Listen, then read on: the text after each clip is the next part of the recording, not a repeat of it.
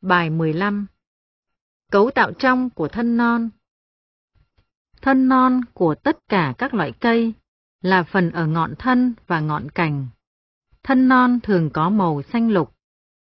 Thứ nhất, cấu tạo trong của thân non như thế nào? Thứ hai, cấu tạo trong của thân non có những điểm gì giống và khác cấu tạo của rễ? Thứ ba, hãy quan sát hình 15 để thấy được cấu tạo chung và cấu tạo chi tiết của thân non. Hình 15, cấu tạo trong của thân non, gồm có hai phần, phần sơ đồ chung và phần cấu tạo chi tiết một phần của thân. Quan sát dưới kính hiển vi, chúng ta thấy thân non gồm có hai phần, vỏ và trụ giữa.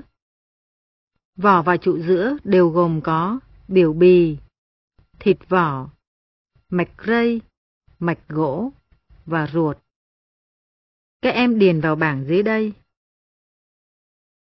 Bảng cấu tạo trong và chức năng các bộ phận của thân non. Các em kể. Bảng gồm có 3 cột. Cột thứ nhất ghi các bộ phận của thân non. Cột thứ hai cấu tạo từng bộ phận. Cột thứ ba, chức năng của từng bộ phận.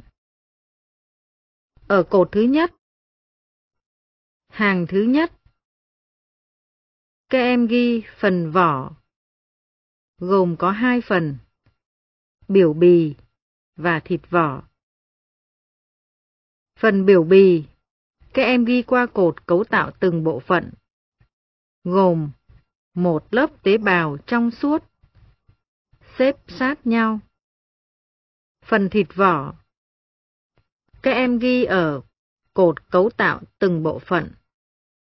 Thịt vỏ gồm nhiều lớp tế bào lớn hơn. Một số tế bào chứa chất diệp lục. Hàng thứ hai Các em ghi trụ giữa. Trụ giữa gồm hai phần một vòng bó mạch và ruột. Phần một vòng bó mạch Các em ghi qua cột cấu tạo từng bộ phận. Thứ nhất, mạch dây, gồm những tế bào sống vách mỏng.